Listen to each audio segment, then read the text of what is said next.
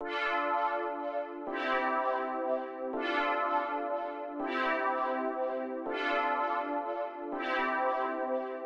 made the beat, so you better play it loud.